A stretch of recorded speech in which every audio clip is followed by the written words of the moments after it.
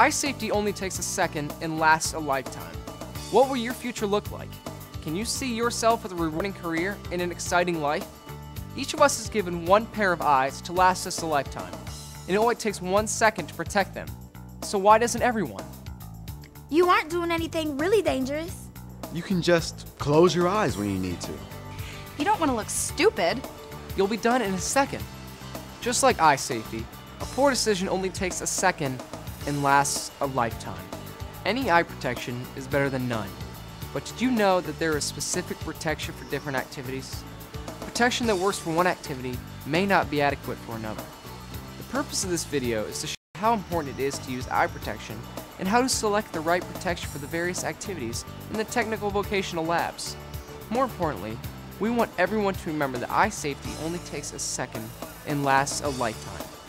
The best way to help you remember which eye protection to wear is to look at the types of injuries you could suffer. Let's look at impact injuries first. There are a lot of different hazards to your eyes in technical vocational labs. Many of these involve impact injuries caused by sharp flying objects which can cut or puncture the surface of your eye. Activities like grinding, cutting, or working with any kind of power tool require eye protection. Look at this picture of an injured eye. The cornea, or clear window that you see through, was lacerated by a flying object. Impact injuries can also include blunt objects, which impact the eye socket and damage the surface and structures in the back of the eye. Here's a picture of an eye that received a blunt force injury. The bleeding into the corneal tissue that you see can cause cloudy vision. Those are some pretty gruesome pictures. Just imagine if that was your eye. Protection from impact injuries is as simple as wearing face shields, safety glasses, goggles, or sports goggles. These can also help keep harmful dust out of your eyes. Remember, eye safety only takes a second and lasts a lifetime. Impact eye injuries can occur during any activity involving flying or sharp objects that you take part in or even observe. This is a picture of an eye that was damaged by one kid tossing a pencil to another. That's how easily it can happen. It only takes a second and lasts a lifetime. Another kind of eye injury can be caused by chemicals, from hair dyes to antifreeze. Think about all the chemicals we work with in labs. Chemicals can splash into your eye and cause burns. Fumes emitted by chemicals are also harmful to your eyes. Here's an eye that was burned by a chemical. Injuries like these can take time to heal. This one is over six weeks old. And what if you lose your sight permanently? It will affect you for the rest of your life. Job prospects, your driving privileges, the way you do everything will be affected. The best protection against chemical eye injuries is a face shield and cover goggles like these. They protect from the front and the side to prevent a splash from reaching your eyes. Remember, it only takes a second to be stupid or safe, and that decision lasts a lifetime. A chemical eye injury can be devastating and painful. But just imagine what it would be like to be burnt in the eye. Now there's something no one wants to suffer. In addition to impacting chemical injuries, heat eye injuries can cause severe damage to your vision. Some of our lab activities involve working with hot metals and other things at high temperatures.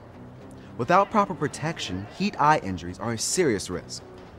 Look at this picture of an eye that has been damaged by a heat-related injury. Man, that looks like it hurts.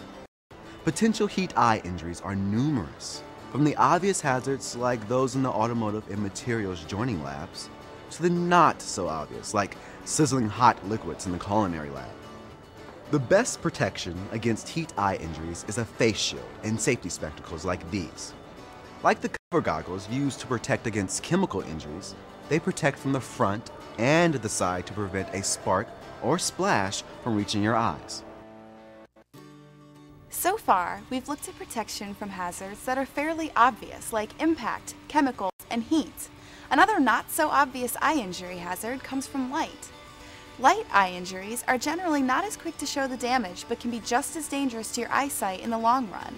The most obvious of this type of hazard is in the materials joining or automotive labs. Here, the bright light of a welding torch can damage the naked eye.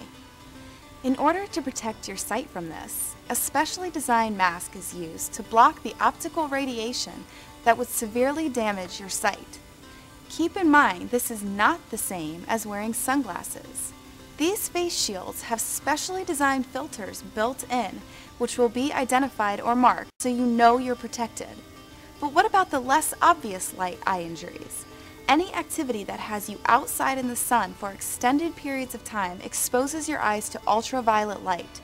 This includes many of our labs like landscaping or construction. Long-term effects of exposure to ultraviolet light can result in a number of conditions. This picture shows a cataract, which results in a loss of vision. Light entering the eye can no longer pass through the lens and is reflected back out. Long-term, unprotected exposure to ultraviolet radiation is a cause of cataract formation. Cataracts generally take a long time to form, but can also be caused by trauma. Maximum UV protection sunglasses filter the ultraviolet light and provide the best defense. If you're going to be working outside, your future's so bright, you gotta wear shades. But what if you're inside looking at a computer or video screen like in many of the labs? There is yet another little known hazard that can lead to hazy vision and trouble driving at night. Extended time spent looking at a computer or video screen, or exposing your eyes to glare, can give you headaches and affect your vision. There are filters that can be used if you are at risk. This is not as dangerous as the other things we've discussed, but it's something to keep in mind. So by now, you know what we mean when we say eye safety only takes a second and lasts a lifetime. You know the four main kinds of eye injuries. Impact injuries, caused by flying or moving objects, even dust. Chemical injuries, that can result from splashes or fumes. Heat injuries, from working around heat, sparks, or flames. And light injuries, from exposure to infrared and ultraviolet optical radiation. You also know the proper protection for each of these. Impact injuries can be prevented by using face shields, safety glasses, goggles, or sports goggles. Chemical injuries can be prevented by using face shields or cover goggles. Heat injuries can be prevented by using face shields or safety glasses. Light injuries can be prevented by using sunglasses or filters. Oh, and one more thing. Make sure that your mask or goggles are adjusted to fit you correctly. You wouldn't try to run with your shoes untied, would you? Improper fit can give you a false sense of security. So what about those reasons we gave at the beginning of this video for not wearing eye protection? You aren't doing anything really dangerous. It doesn't take much, like a tossed pencil or frying bacon, to lose your sight or suffer a painful injury. You can just close your eyes when you need to. Many of your daily activities create flying objects that travel much faster than the blink of an eye. There are also dust and fumes that you cannot see.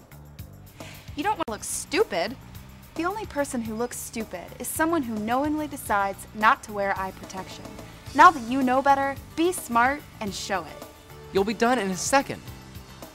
Stupid only takes a second, and it could cost you your sight for the rest of your life. Remember, eye safety only takes a second and lasts a lifetime.